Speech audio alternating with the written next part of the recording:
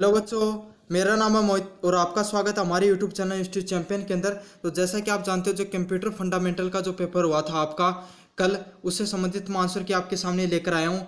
और ये पेपर जो कुल अंक जिसके पचास अंक थे और सारे के सारे पचास क्वेश्चन किसके आए थे? एमसीक्यू आए थे। और इस पेपर को पास करना आपको अनिवार्य रूप से था। तो चलो शुरू करते हैं अपन आज के क्वेश्चन जो पहला क्वेश्चन था वो क्या था? सीपीयू की फुल फॉर्म क्या है? तो सीपीयू की जो फुल फॉर्म होती है, वो क्या होती है? सेंट्रल प्रोसेसिंग यूनिट तो इस क्वेश्चन का जो सही आंसर होगा, वो क्या होगा? ऑप्शन नंबर सी होगा. अब बढ़ते हैं दो नंबर क्वेश्चन की तरफ़. निम्नलिखित में से कौन सा कंप्यूटर का मस्तिष्क होता है? तो हम सब जानते हैं कंप्यूटर का मस्तिष्क किसको बोलते हैं? सीपीयू को बोलते हैं. और सीपीयू की ही फुल फॉर्म होती है, उसको क्या कहा जाता है? सेंट्रल प्रोसेसिंग यूनिट तो इस क्वेश्चन का जो सही आंसर होगा, वो क्या होगा? ऑप्शन ए होगा और ये सीपीयू इसका सही आंसर आंसर है। अगर आप और किसी सेकंड सेमेस्टर के या फिर कंप्यूटर एप्लीकेशन का भी कुछ यूनिवर्सिटी में पेपर होता है, अगर आप उसके विद्यार्थी हो तो इस वीडियो को पूरा देखिएगा, क्योंकि उसमें भी यही वाले प्रश्न आते हैं। ठीक है आप पढ़ते हैं तीन, तीसरे नंबर क्वेश्चन की तरफ़। ए एल यू के फुल फॉर्म क्या है? इंग्लिश में बता दूँ full form of A L U तो ए एल यू की फुल फॉर्म क्या होती है? अर्थमेटिक लॉजिकल यूनिट तो इस क्वेश्चन का जो सही आंसर होगा वो क्या ऑप्शन नंबर ए होगा। अब आगे बात करें चार नंबर क्वेश्चन की तरफ़। ऑपरेटिंग सिस्टम का क्या उपयोग है? तो देखो, ऑपरेटिंग सिस्टम सबसे पहले मैं बताता हूँ, होता है क्या आपके? कंप्यूटर के अंदर जो आप कंप्यूटर चला रहे उसमें जो विंडो होती है, उसको ऑपरेटिंग सिस्टम बोलते हैं। सारे के सारे, पूरा का जो हार्डवेयर है कंप्यूटर का या कोई भी जैसे फ़ोन हो गया, उसमें एंड्रॉयड वर्जन होता है।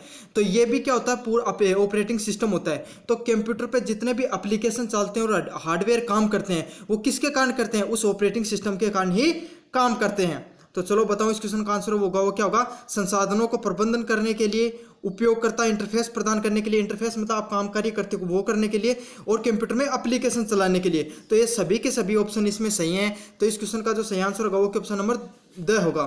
तो वापस देख लो, सभी संसाधनों का प्रबंधन करने के लिए काम में आता है, उपयोगकर्ता को और इंटरफेस मतलब कार्य करने के प्रदानकर्ता के रूप में काम आता है। तो इस क्वेश्चन का सही आंसर का ऑप्शन नंबर डी होगा। अब बढ़ते हैं पाँच नंबर क्वेश्चन की तरफ़। कंप्यूटर को नेटवर्क से जोड़ने के लिए किस प्रकार का उपकरण को प्रयोग किया जाता है? तो नेटवर्क से जोड़ने के लिए किसका प्रयोग किया जाता है? राउटर का प्रयोग किया जाता है। आपने सुना होगा, जो बड़ी बड़ी अगर आप लाइब्रेरी वगैरह में जाते हो तो वहाँ पर राउटर का नाम सुना होगा, या फिर वाईफाई जोड़ते हैं तो उसमें राउटर लगाया जाता है। ठीक है? प्रिंटर प्रिंट निकालने के लिए काम आता है, स्कैनर आपको पता है, स्कैन चीज़ों को स्कैन करने के लिए काम आता है और मॉनिटर पे अपन सारी की सारी चीज़ें डिस्प्ले देखते हैं। अब बढ़ते हैं छह नंबर क्वेश्चन की तरफ़। यूआरएल का फुल फॉर्म क्या है? तो यू यू का जो फुल फॉर्म है, वो क्या है? यूनिफॉर्म रिसोर्स लोकेटर तो इस क्वेश्चन का जो सही आंसर होगा, वो क्या? ऑप्शन नंबर ए होगा। अब बढ़ते हैं सात नंबर क्वेश्चन की तरफ़। लाइनक्स क्या है? L I N U X Linux Linux क्या है? तो ये एक प्रकार का क्या है? ऑपरेटिंग सिस्टम है। ठीक है? लाइनक्स एक ऑपरेटिंग सिस्टम और ओपन रिसोर्स ऑपरेटिंग सिस्टम है। ये भी मैं आपको बता देता हूँ। कौन सा ऑपरेटिंग सिस्टम माइक्रोसॉफ्ट के द्वारा बनाया गया है? तो माइक्रोसॉफ्ट किसके द्वारा बनाया गया है? माइक्रोसॉफ्ट आप आप सभी को पता है माइक्रोसॉफ्ट है, वो बिलगेट्स की कंपनी उसके द्वारा कौन सी जो ऑपरेटिंग सिस्टम लॉन्च किया गया था? विंडो लॉन्च किया गया था। एंड्रॉयड वर्जन है, वो हमेशा आपके मोबाइल के अंदर मिलता है। ठीक है? मैक ओएस एप्पल कंपनी के द्वारा जो ऑपरेटिंग सिस्टम बनाया गया उसका क्या नाम है? मैक ओएस नाम है। ठीक है? और Linux L I N U X Linux एक ओपन ऑपरेटिंग सिस्टम है, जिसको मतलब हर कोई व्यक्ति यूज़ कर सकता है। मेरे हिसाब से समझ में आ गया होगा ये प्रश्न आपको। अब बढ़ते हैं नौ नंबर क्वेश्चन की तरफ़। निम्नलिखित में से किस पर दूसरी पीढ़ी के कंप्यूटर आधारित थे? तो दूसरी पीढ़ी के जो कंप्यूटर थे, वो किस पे आधारित थे? ट्रांजिस्टर पे आधारित थे। अब मैं आपको धीरे धीरे बता देता हूँ कि कौन सा कौन सा कंप्यूटर किस किस पे आधारित था। तो प्रथम जनरेशन के जो कंप्यूटर थे, वो वैक्यूम ट्यूब पर आधारित थे। ठीक है? दूसरे वाले हैं, वो ट्रांजिस्टर पे आधारित थे। अब बढ़ते हैं दस नंबर क्वेश्चन की तरफ़। एक ऑपरेटिंग सिस्टम है।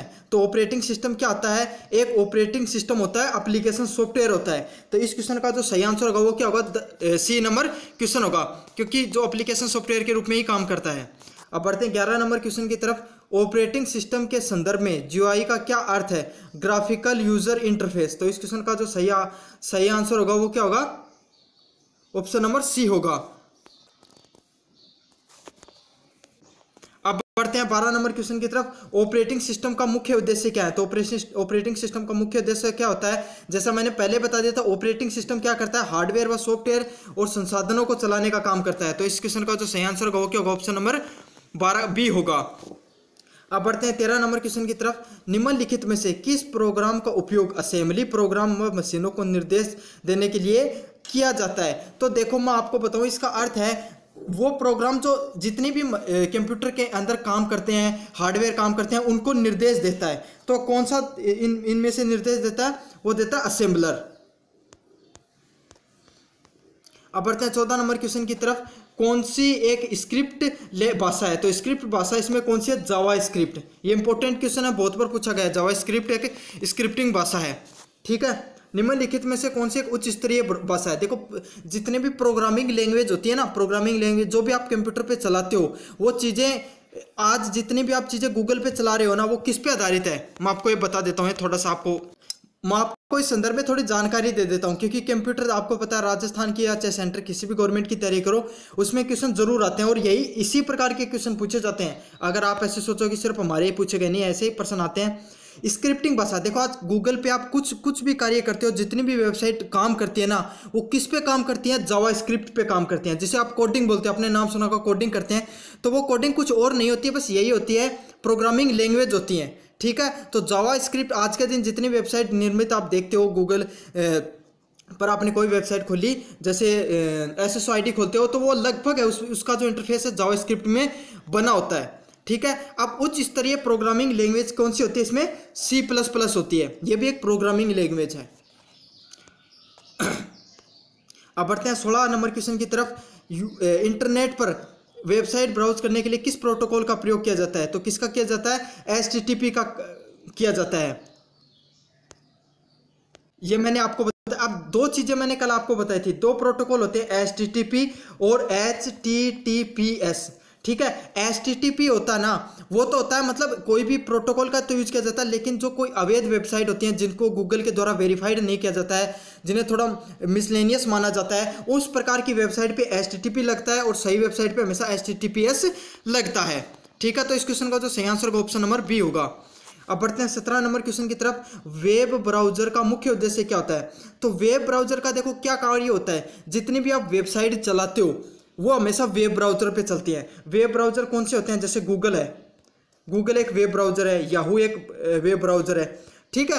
तो इनका काम क्या होता है? वेब ब्राउजिंग पेजों को ब्राउज करना या प्रदर्शित करना मतलब वेबसाइटों को अपने ऊपर संग्रहित करना। अब बढ़ते हैं इंग्लिश नंबर अठारह नंबर क्वेश्चन की तरफ़। आईपी का पता क्या है? तो आईपी क्या होता है? इंटरनेट प्रोटोकॉल को बोला जाता है। ठीक है? अब मैं समझा देता हूँ, होता क्या है आईपी आपने एक काफ़ी बार सुना होगा, उस व्यक्ति का आईपी एड्रेस ट्रेस कर लिया गया। आईपी एड्रेस इंटरनेट पे एक आधार कार्ड की तरह है। समझ में आ गया? जैसे आपका आधार कार्ड आपका पहचान पत्र है, उसमें आपका जो नंबर दिया गया है बारह अंक का जो आपको नंबर दिया गया है, वो आपकी पहचान नंबर है कि भारत के अंदर एक व्यक्ति है, इस नाम का उसका पहचान नंबर ये है। उसी तरीके से इंटरनेट पर हर वस्तु को एक पहचान नंबर दिया गया है। उसको क्या बोलते हैं? आईपी बोलते हैं, इंटरनेट प्रोटोकॉल बोलते हैं। और आईपी एड्रेस आपका फ़ोन का भी होता है गूगल का, हर एक डिवाइस होती है इंटरनेट पर, सभी का आईपी एड्रेस होता है। अब बढ़ते हैं उन्नीस नंबर क्वेश्चन की तरफ़, साइबर खतरा क्या है? तो साइबर खतरा आपको भी पता है, क्या होता है? डेटा चुराने या क्षति पहुँचाने के इरादे से किया गया दुर्भाग्यपूर्ण कार्य है। इस क्वेश्चन का सही आंसर ऑप्शन नंबर बी होगा। बढ़ते हैं बीस नंबर क्वेश्चन की तरफ़, इंटरनेट का उपयोग क्या है? तो इंटरनेट का किस चीज़ में उपयोग किया जाता है? आपको पता है, इन सब में से संचार करने भी, संचार पुनरुक्ति करने पर और इंटरनेट बैंकिंग करने पर। तो जो इसका सही आंसर होगा वो क्या होगा? ऑप्शन नंबर डी होगा। तो देखो, संचार करने में, जैसे आप किसी से, व्यक्ति से बात करते हो, वीडियो कॉल पे बात की आपने या चैटिंग की तो वो क्या होगा? संचार करने में। संचार संचार की पुनरुक्ति करने में मतलब बैकअप वगैरह लेते हो तो उसमें होता है, और इंटरनेट बैंकिंग में तो इंटरनेट का प्रयोग होता ही है। तो इस क्वेश्चन का जो सही आंसर ऑप्शन नंबर डी होगा। अब बढ़ते हैं किस नंबर क्वेश्चन की तरफ़। ई कॉमर्स का अर्थ क्या है? तो ई कॉमर्स का अर्थ क्या होता है? Electronic commerce. अच्छा ई कॉमर्स होता है क्या? मैं आपको ये भी समझा देता हूँ। आप जैसे ई कोई अमेजोन फ्लिपकार्ट मीशो या कोई भी जो ऑनलाइन शॉपिंग कंपनी होती हैं उसमें से आप कोई भी चीज़ खरीदते हो ज़रूरी नहीं आपको जितनी भी ऑनलाइन कोई भी चीज़ खरीदते हो उसे ई कॉमर्स कहा जाता है। ठीक है?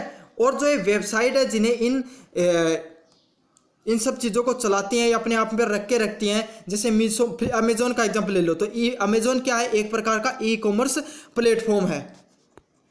ठीक है तो इस क्वेश्चन का answer number option number B होगा। अब बढ़ते हैं बाईस नंबर क्वेश्चन की तरफ़। इंटरनेट का जनक किसे कहा जाता है? तो हम सब जानते हैं टीम ली को कहा जाता है। अब बढ़ते तेईस नंबर क्वेश्चन की तरफ़। सोशल मीडिया साइटों पर डीएम का क्या अर्थ होता का? वैसे तो आप सबको पता है डीएम का अर्थ। डीएम का अर्थ होता है डायरेक्ट मैसेज अब बढ़ते हैं चौबीस नंबर क्वेश्चन की तरफ़।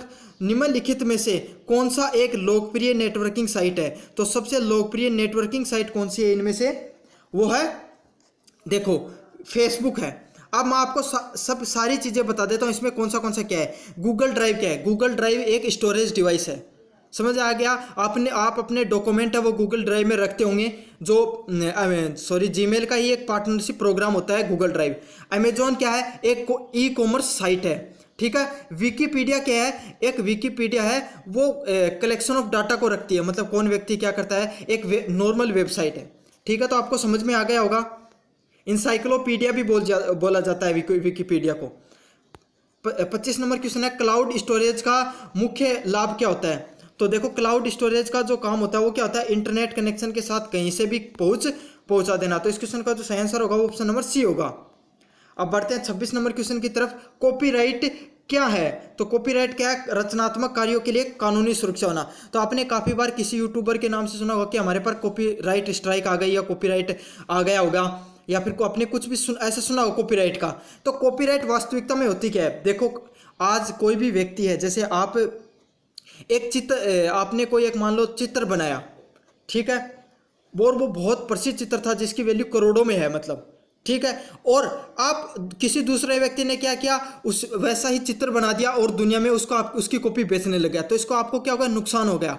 तो आप क्या करते हो? उसका कॉपीराइट ले लेते हो। मतलब हर एक देश के पास, विदेश में एक इंटरनेशनल इंस्टीट्यूट होता है जो कॉपीराइट देता है आपको। ठीक है? आपने रजिस्ट्रेशन कर दिया कि यह चित्र मेरे द्वारा बनाया गया इसके अलावा इस व्यक्ति का कोई भी प्रयोग नहीं कर सकता है। तो अब क्या होगा? अगर उसके, आपके द्वारा बनाया गया चित्र अगर किसी और व्यक्ति ने यूज़ किया तो उस व्यक्ति को उसके ऊपर जुर्माना लगेगा और उसको जितना उस पे, उसने पैसा कमाया उसका कुछ हिस्सा आपको भी देना पड़ेगा। ठीक है? तो आपको समझ में आ गया होगा ये क्या होता है? रचनात्मक कार्यों की कानूनी सुरक्षा होती है। अब बढ़ते तेईस नंबर क्वेश्चन की तरफ़ ईमेल का क्या उद्देश्य होता है? तो ईमेल का क्या अर्थ क्या उद्देश्य होता है? त्वरित पाठ संदेश भेजना। मैसेज को इंस्टेंटली भेजना। अब बढ़ते हैं अट्ठाईस नंबर क्वेश्चन की तरफ़। निम्नलिखित में से ऑनलाइन भुगतान नहीं है तो कौन सा ऑनलाइन भुगतान नहीं है? हम सब जानते हैं, क्रेडिट कार्ड से आपने कोई चीज़ें खरीदी होंगी तो ऑनलाइन भुगतान करते हो आप इस चीज़ से, ठीक है? एकीकृत भुगतान इंटरफेस यूपीआई ठीक है? और यूपीआई को तो आपको आजकल सब इंडिया में सबसे पॉपुलर चीज़ अगर इंटरनेट में बैंकिंग में हुई है, वो क्या है? यूपीआई है। और पे पेपाल क्या है, मैं आपको बता देता हूँ। जैसे अपने फ़ोन पे है ना, वैसे ही इंटरनेशनल पे, फ़ोन पे हो गया पेटीएम हो गया, और जितने भी ये पेमेंट के जो माध्यम है माध्यम है, वैसे ही इंटरनेशनल पर पेपा पेपाल है। समझ में आ गया आपको? तो ये सभी के तीनों ए सी डी क्या ऑनलाइन भुगतान के मोड हैं, लेकिन कैश ऑन डिलीवरी कोई भी ऑनलाइन भुगतान का मोड नहीं होता तो इस क्वेश्चन का जो सही आंसर होगा वो क्या ऑप्शन नंबर बी होगा? अब बढ़ते हैं उनतीस नंबर क्वेश्चन की तरफ़ निम्नलिखित में से कौन सा एक साइबर खतरा है? तो साइबर खतरा कौन सा इसमें से मोलवेयर होगा क्योंकि मोलवेयर आपको पता है एक, एक प्रकार का वायरस होता है जो आपकी चीज़ें चुरा लेता है। बाकी सोशल मीडिया तो इंटरनेट के एक फ़ायदा है ट्रैफ़िक जाम कोई संदर्भ भी नहीं है मौसम की भविष्यवाणी भी कोई साइबर खतरे से संबंधित नहीं है। अब बढ़ते हैं तीस नंबर क्वेश्चन की तरफ़ निम्नलिखित में से कौन एक सुरक्षित वेबसाइट या पोर्टल है? तो कौन सी है? पोर्टल का संकेत क्या है? तो तीस का जो सही आंसर होगा वो क्या होगा? ऑप्शन नंबर ए होगा। तो मैंने देखो, पहले बता दिया था एस अगर किसी भी वेबसाइट के ऊपर लगा होता तो वो एक सही वेबसाइट है। आप गूगल करो ना, उस वक्त देखना क्रोम में जाना और गूगल पे कोई भी वेबसाइट खोलना, उस पर ऐसे लिखा होगा। जैसे मैं आपको एग्ज़ाम्पल देता हूँ, H T T P S dot S S O I D dot com. देखना आप आज जाके कि क्या लिखा होता है। ठीक है? और कभी कभी आप कुछ वेबसाइट खोलोगे जिस पे गूगल खोलेगा नहीं। समझ में आ गया? एक आपका ब्लैक सा इंटरफेस आ जाएगा। ऐसे समझ में नहीं आता तो आप करना अपनी एस एस खोल के आप सभी कॉलेज के छात्रों और अपनी स्कॉलरशिप की आईडी खोलना। जैसे आप स्कॉलरशिप की आईडी खोलोगे, आपका गूगल क्रोम बंद हो जाएगा, खुलेगा नहीं और उसमें कुछ रेड सा इंटरफेस आ जाएगा। तो उस, वहाँ पे देखना आपको, वहाँ पे एस लिखा होगा। समझ में आ गया? तो इस क्वेश्चन का जो सही आंसर होगा ऑप्शन नंबर ए होगा। अब बढ़ते हैं इकतीस नंबर क्वेश्चन की तरफ़। निम्नलिखित में से कौन सा सुरक्षित ब्राउजिंग करने का एक आदत है? तो इसमें सुरक्षित ब्राउजिंग करने का आदत कौन सा है? ईमेल के माध्यम से पासवर्ड साझा करना यह तो नहीं हो सकता है बिल्कुल भी। ठीक है, बिना वीपीएन व सार्वजनिक वाईफाई का प्रयोग करना बिल्कुल मत करना है तो जीवन में कभी भी। वेबसाइट पर यूआरएल में एस की जाँच करना यह बिल्कुल सही है। है ना? एंटीवायरस सॉफ्टवेयर को सक्षम बनाना। तो इस सुरक्षित ब्राउजिंग किससे संबंधित है? ऑप्शन नंबर सी से संबंधित है। अब बढ़ते हैं बत्तीस नंबर क्वेश्चन की तरफ़। कंप्यूटर प्रणाली या नेटवर्क की गैर अधिकृत पहुँच को क्या कहा जाता है, जिसे नीतिगत उपयोग में किया जाता है? मतलब नीतिगत का क्या अर्थ होता है? अवैध रूप से उपयोग किया जाता है। तो ये कौन सा होता है? ये होता है एक्किंग होती है। तो इस क्वेश्चन का जो सही आंसर का ऑप्शन नंबर ए होगा।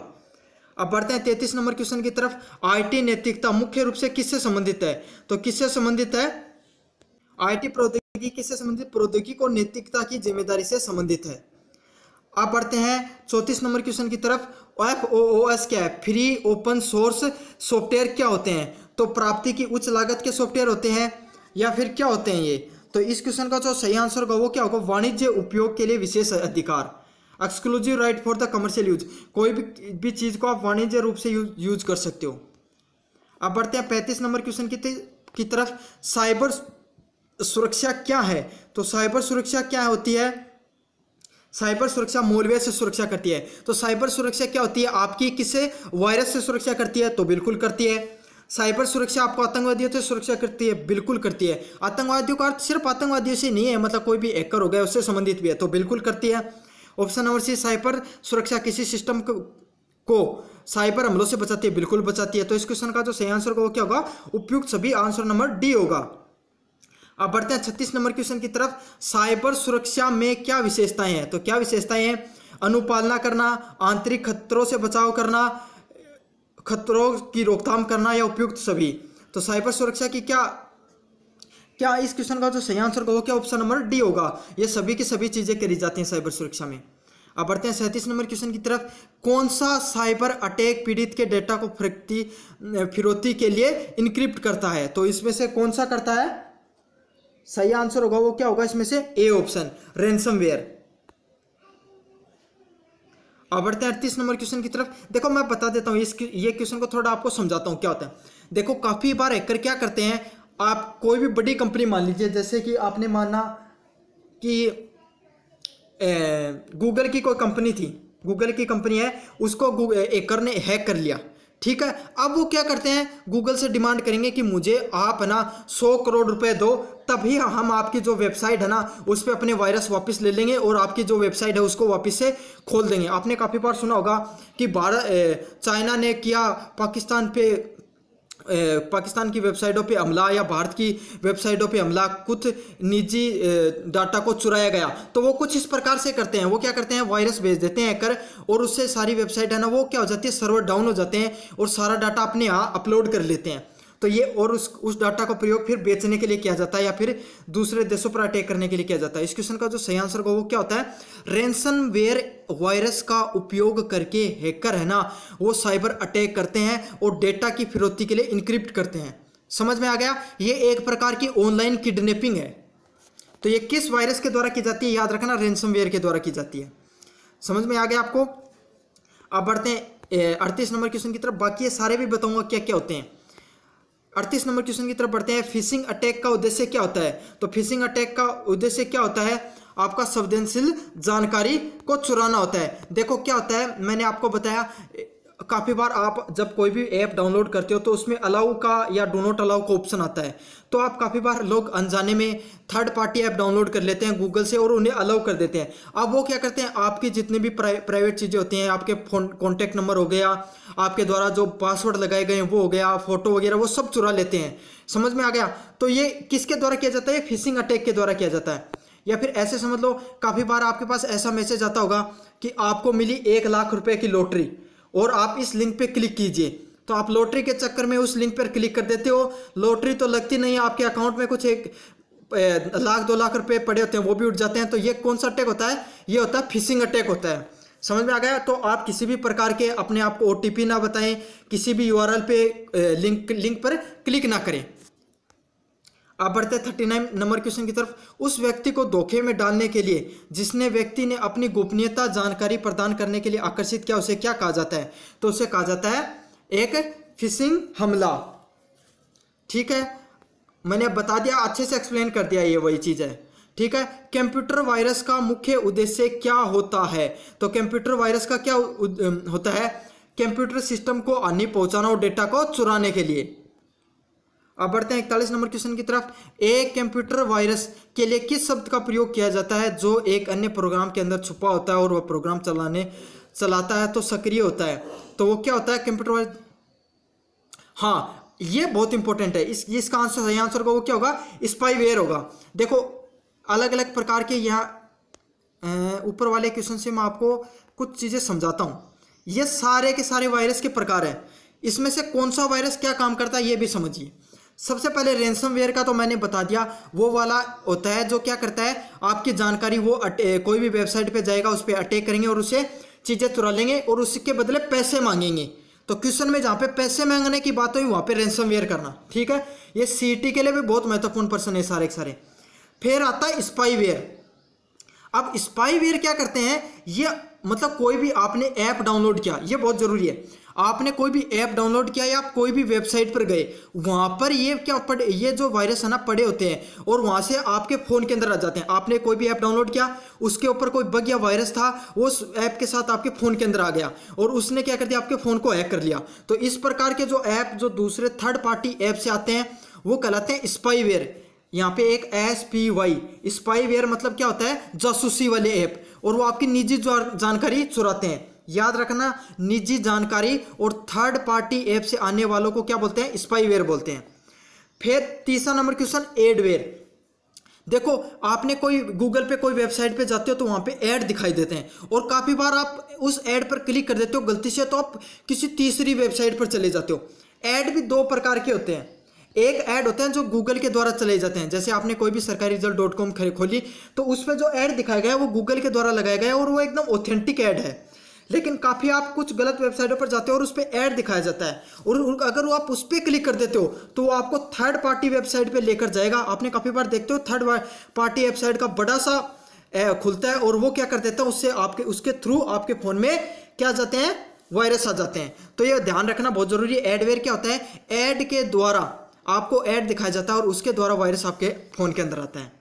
समझ में आ गया? मोलवेयर। मोलवेयर एक ऐसा वायरस होता है जो आपके फ़ोन के अंदर, आपने कोई फ़ाइल वगैरह शेयर करी, उसके थ्रू अंदर आता है और ये आपको फ़ोन को क्या कर देता है? पूर्ण रूप से गर्म हैंग कर देता है। आप कभी देखा होगा आपका फ़ोन अप्रत्याशित रूप से मतलब बहुत ज़्यादा गर्म हो रहा है, अचानक से चलते चलते स्विच ऑफ़ हो रहा है। समझ में आ गया? अगर स्टोरेज की प्रॉब्लम के अलावा अगर स्टोरेज भी सही है और फिर भी अगर आपका फ़ोन चलते चलते स्विच ऑफ़ हो गया, बहुत ज़्यादा गर्म हो गया और लैग करने लग गया तो इसका मतलब आपके फ़ोन के अंदर क्या आ गया है? मोलवेयर आ गया है। तो मैंने आपको चारों को चारों, ये चारों वायरस बहुत इंपॉर्टेंट है। इंडिया की कोई ऐसी एग्ज़ाम नहीं है जिसके अंदर इन पे क्वेश्चन नहीं पूछा गया है। तो इससे मैंने आपको सभी के सभी वायरसों को अच्छे से समझा दिया कि किस किस प्रकार से काम करते हैं। ठीक है? अब बढ़ते हैं बत्तीस नंबर क्वेश्चन की तरफ़। कंप्यूटर वायरस कैसे फैलता है? तो कंप्यूटर वायरस कैसे फैलता है? देखो, इसमें ना, इस क्वेश्चन के कई आंसर हो सकते हैं। यूएसबी ड्राइव के माध्यम से, भौतिक प्रसारण के ज़रिए ऐसे भी फैल सकता है। है ना? ऑप्शन नंबर बी है ईमेल अटैचमेंट और लिंक के द्वारा। ये तो फैलता ही फैलता है। आपने देखा होगा, काफ़ी बार आपको कहा गया है ईमेल के अंदर जो स्पेम में जो ईमेल आती है, उनको आपको कभी भी उस पर अगर कोई लिंक आता तो उस पर कभी क्लिक नहीं करना चाहिए। कंप्यूटर के घटकों को अधिक गर्म करने पर यह नहीं हो सकता। ठीक है? सिस्टम सेटिंग को संशोधित करने पर। तो देखो, ऐसे नहीं आ सकता। इस क्वेश्चन का सही आंसर ऑप्शन ए भी हो सकता है ऑप्शन बी भी हो सकता है, लेकिन ज़्यादा सही आंसर होगा वो क्या होगा? ऑप्शन नंबर बी होगा। तो इस क्वेश्चन का वैसे सही आंसर क्या ऑप्शन नंबर बी है। अब बढ़ते हैं तेईस नंबर क्वेश्चन की तरफ़। किस प्रकार के पासवर्ड अमले में उपयोगकर्ता को धोखे में डालने के लिए धोखाधड़ी ईमेल या संदेश भेजा जाता है ताकि वो पासवर्ड प्रकट करें? तो इसमें से किसमें किया जाता है? फिशिंग अमले में किया जाता है। तो इस क्वेश्चन का जो सही आंसर का ऑप्शन नंबर ए होगा। अब बढ़ते हैं चौतीस नंबर क्वेश्चन की तरफ़। साइबर अमले में डीओस का क्या अर्थ होता है? अब मैं आपको दो चीज़ें बता दूँगा। डीओस होती क्या चीज़ें हैं? देखो कंप्यूटर की भाषा में दो चीज़ें डीओस होती हैं। सबसे तो पहले चीज़ बताता हूँ डीओस साइबर सुरक्षा के मामले में क्या चीज़ होती है। तो इसकी फुल फॉर्म होती है डिनाइल ऑफ़ सिक्योरिटी। क्या होती है? Denial of security. अब देखो क्या होता है आप काफ़ी बार किसी वेबसाइट पर गए और वहाँ पे आता है पॉपअप वन ज़ीरो वन। देखा होगा आपने काफ़ी बार a, user user not found ऐसे आता है एक।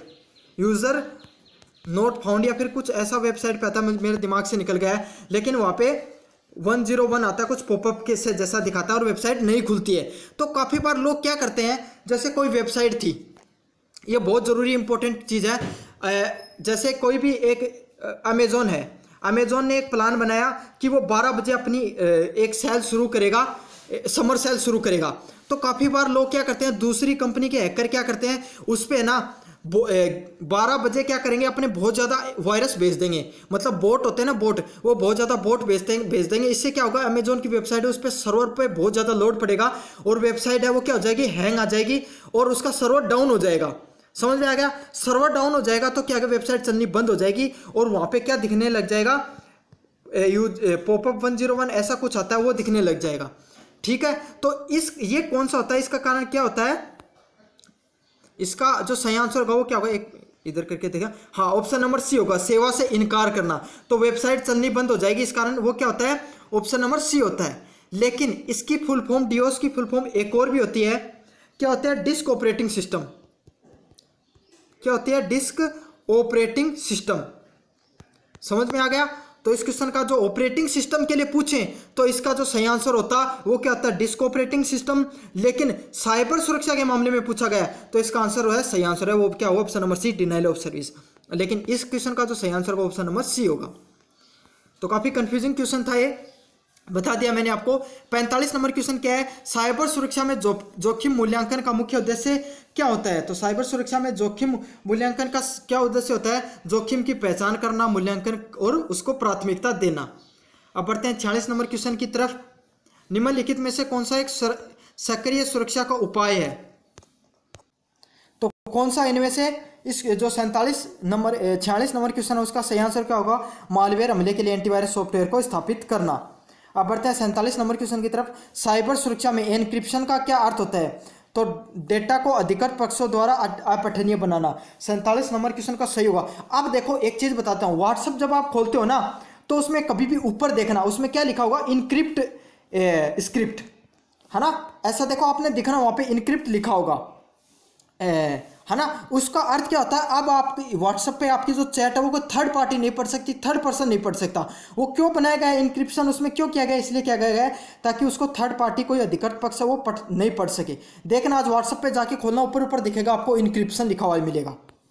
साइबर सुरक्षा के संदर्भ में संपत्तियाँ क्या है? तो संपत्तियाँ क्या है? ये काफ़ी इंपॉर्टेंट था, लेकिन इस क्वेश्चन का जो सही आंसर होगा, वो क्या होगा? इस क्वेश्चन का जो